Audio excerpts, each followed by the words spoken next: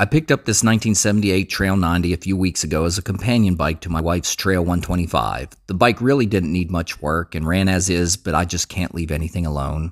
I've ordered parts, paint, and a vintage decal set, but all she really needed to be roadworthy was a front brake.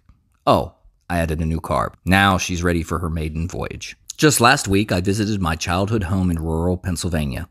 It brought back so many memories. I was probably one of the last of my generation to cook over a fire, drink out of a spring, use an outhouse. In this environment of low technology and wide open spaces, I developed a love of books. I used to have a row of Hardy Boys books on that window ledge right there. I spent a lot of time reading in the loft of that barn. Hmm. They lived on that milk, and if you got a milk cow or a goat, you don't need a whole bunch else. Right. Yeah. Yeah. What kind of milk cow? Did she have a Jersey or She a had a Guernsey. Guernsey? Always had a Guernsey. Books showed me faraway places. I travel as an adult. Books showed me adventure. I adventure as an adult. Seeds were planted for creative writing, a stint on the radio, and even this channel. I'm an old dog learning new tricks with the video medium, the desire to create coming from my youth reading books. Call it superstition, call it positive karma, call it paying it forward, or just call it nice. I like for my first trip on each of my bikes to be a mission of goodwill.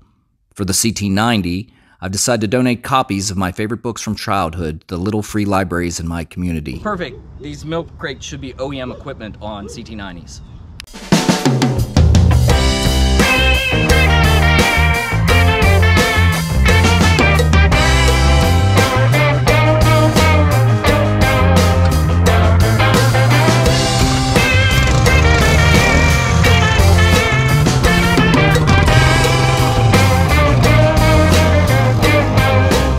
There are over 100,000 registered Little Free libraries in 108 countries. Each one is placed, stocked, and cared for by kind volunteers. You can find one near you by checking out the map on their website.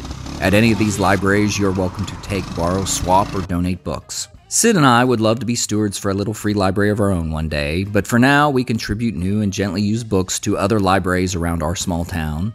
We pass a couple of them on running routes, and others are at elementary schools or in a downtown parking lot.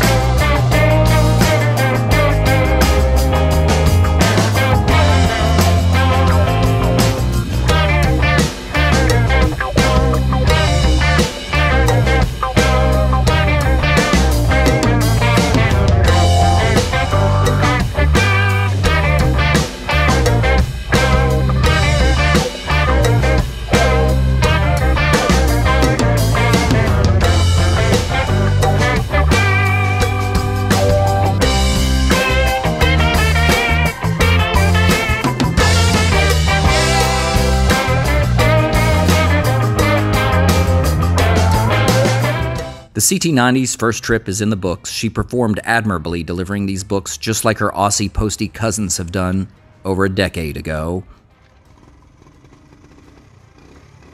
Welcome to the stable, little 90. I look forward to the storied adventures we will write together in the future.